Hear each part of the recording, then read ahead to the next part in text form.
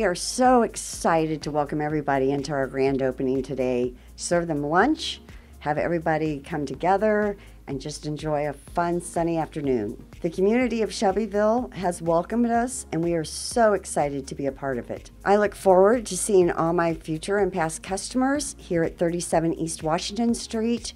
Bailey and Wood is your hometown lender, and we are here to help you.